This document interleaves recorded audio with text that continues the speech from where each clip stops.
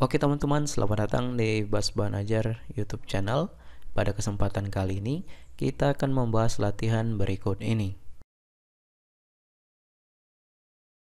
Tetapi, sebelum kita masuk ke pembahasan video, saya akan mengajak teman-teman untuk terlebih dahulu mengklik tombol subscribe pada channel ini dan nyalakan loncengnya, lalu klik like pada video ini jika kalian merasa terbantu.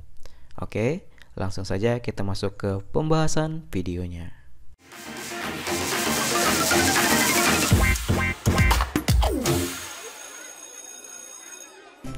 Oke teman-teman, di kesempatan kali ini kita akan membahas latihan uji pemahaman bab 6 di halaman 189 sampai dengan halaman 190 di buku paket Ilmu Pengetahuan Alam dan Sosial untuk SD kelas 5 semester 2 kurikulum merdeka. Di sini kita akan bahas ada tiga per pertanyaan di sini, bagian A, B dan juga bagian C. Langsung saja kita ke bagian A terlebih dahulu, kita baca soalnya.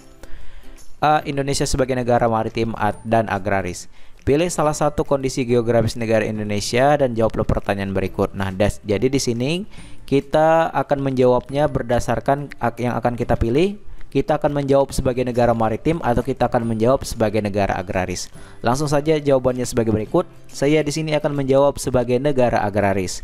Nomor satu, mengapa Indonesia disebut sebagai negara agraris? Jawabannya karena memiliki wilayah daratan yang luas, tanah yang subur, sehingga cocok untuk aktivitas bercocok tanam. Itu jawabannya. Lanjut ke nomor 2. Apa potensi dan kekayaan dari negara agraris? Jawabannya, potensi yang berhubungan dengan pertanian, perkebunan, perhutanan, dan peternakan. Itu jawabannya. Lanjut ke nomor 3.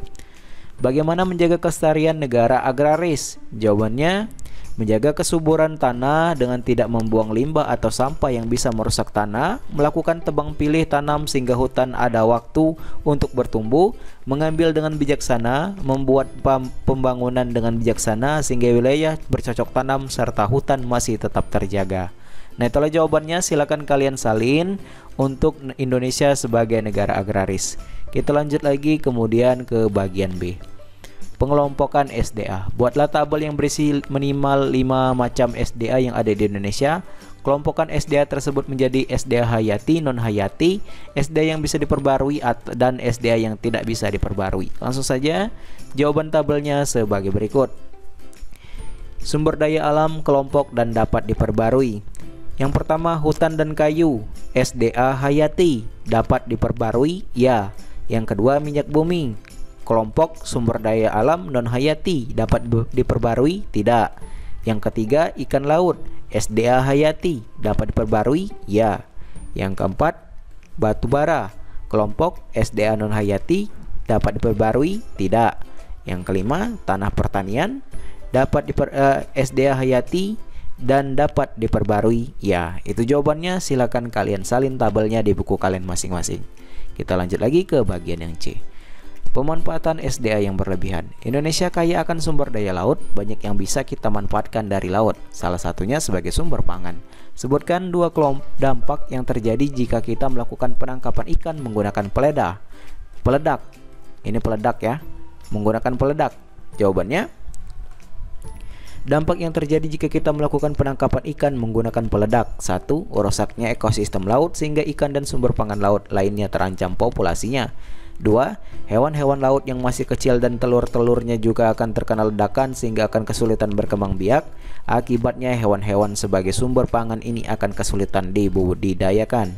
Tiga, Terumbu karang sebagai habitat banyak hewan laut akan ikut rusak sehingga banyak hewan yang kehilangan habitatnya. Yang keempat, hewan dan tumbuhan laut yang ada di sekitar ledakan akan ikut mati walaupun bukan menjadi target tangkapan nelayan. Hal ini akan membuat menurunnya keanekaragaman hayati di laut kita. Nah itulah jawabannya silahkan kalian salin dari bagian A, B, dan juga C. Semoga jawabannya bermanfaat dan membantu. Jika ada jawaban yang kurang jelas atau kurang dimengerti, silahkan kalian tanyakan di kolom komentar di bawah. Saya akhiri video kali ini dan sampai jumpa di latihan berikutnya.